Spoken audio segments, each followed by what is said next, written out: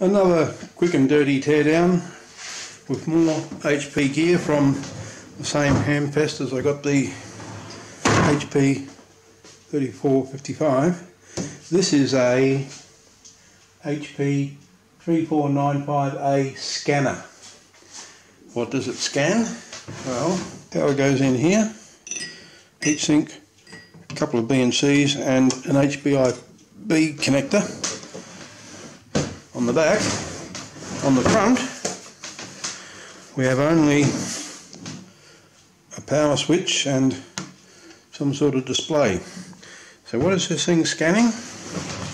Well, looking at the manual, it would seem that in here there's a door, this is a door which opens and a million wires can go in and go to terminations, screw terminals in there. And this is just full of little reed relays. And under control of the HPIB, it turns the relays on and off to connect all the stuff that you've got going into it to other terminals which might go to a meter. In fact, it was designed, I believe, to go with the HP 3455.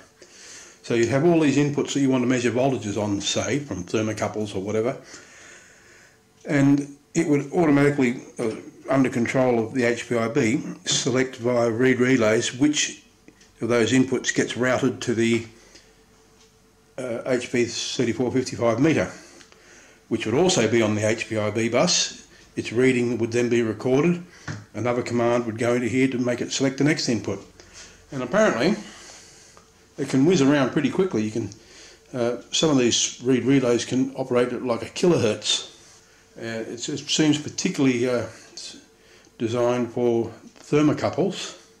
It's got a compensation thermistor in there that you use for the cold end calculation, which can also be selected to put its output on the HPIB. That's all I know about it. I'm just going to open up and have a look inside. I've just loosened the screws. It's got captive screws there on the door and there's all our switching modules and there's like a whole set of op different options that you can plug in different switching modules you can plug in um, to, for different purposes but lots of terminal blocks and you can see a bunch of relays in there. Some of them are armature relays, some of them are reed relays. So it looks like we're missing plugins for those. Hmm. I've been ripped off. Okay, let's try and get the covers off. So just one screw on the end of these side panels and they slide back and like the multimeter one screw at the back and the lid comes off.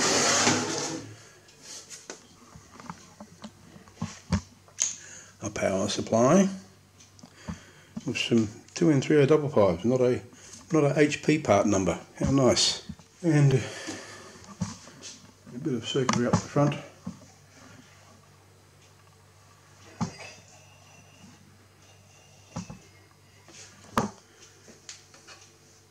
I think these there's a number of modules in here which plug into edge connectors on the side of these things, these edge connectors down here. So have to get those out so that then these are free to come up because at the moment the boards plugged into the edge connectors prevent these lifting. But how do I get into there?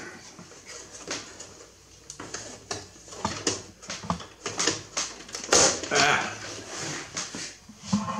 See, these these things come out and there's the edge connector that goes to those vertical boards at the front. So in this one we have a whole whack of reed, uh, sorry, armature relays. It's fairly heavy so I think it's just covered in them. Looks like well, one, two, three, four, five times four, so 20 of them in that. And so there's those input terminals I pulled out before.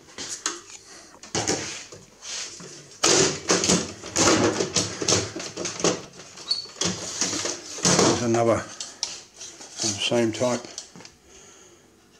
of those. Okay.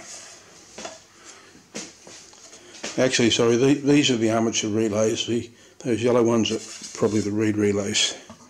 There's about six or eight relays down inside of that. You can see the relays in there a bit better. And this module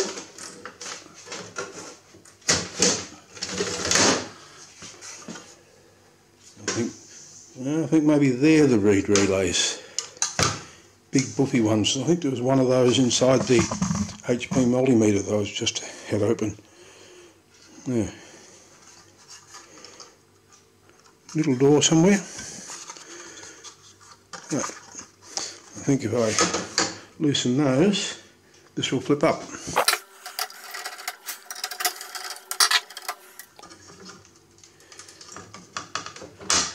A little bit. Oh, there's a plug bit.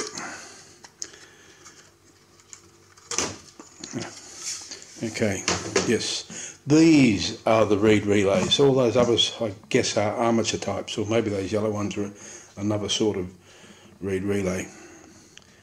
Yeah. Well,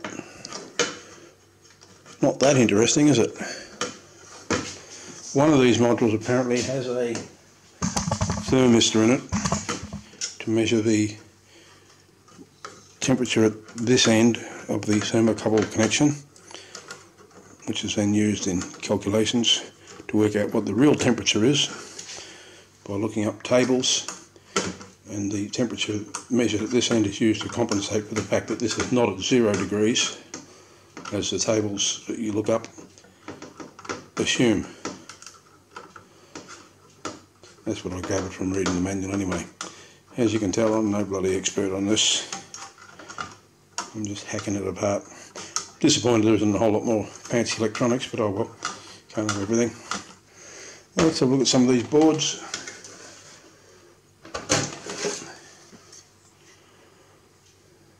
The, the manual for this is, it's like, it's despite the simplicity of its function, there's over 200 pages of how to set this up and you, it's a real nightmare with options going, you know, setting addresses here, um, you can connect multiple of these things together, getting all the wiring sorted, it's, it's uh,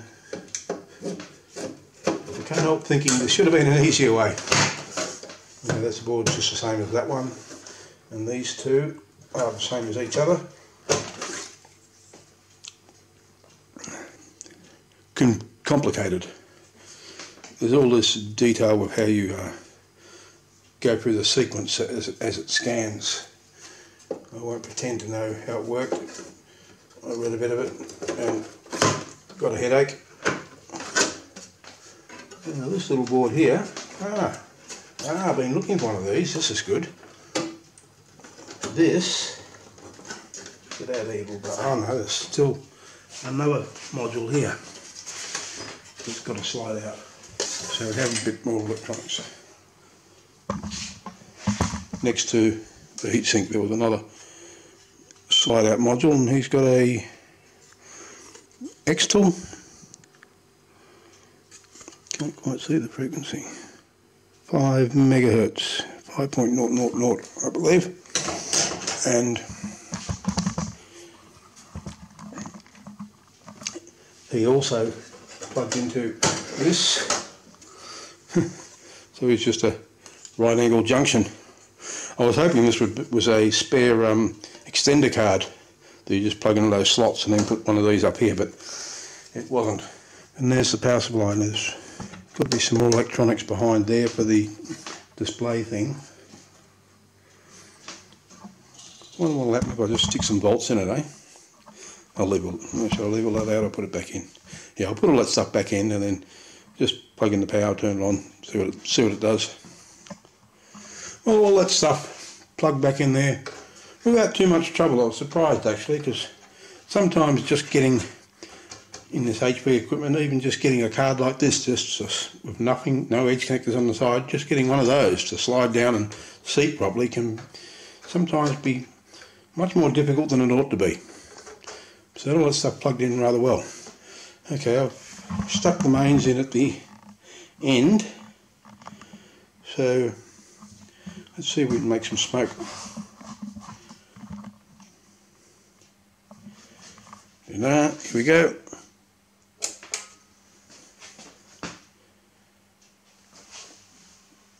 Is that anything? Ah, it woke up. The lead come on. Something dicky there. Power switch is a bit dicky. So I don't think any of these displays do anything unless, as it says, channels are selected, unless it receives commands over the HPIB to select uh, all those relays one way or the other. It won't display anything there. So, that was a quick and dirty teardown of a HP 3495A scanner. Hope you enjoyed. Uh, give it give it a thumbs up if you did. Catch you later.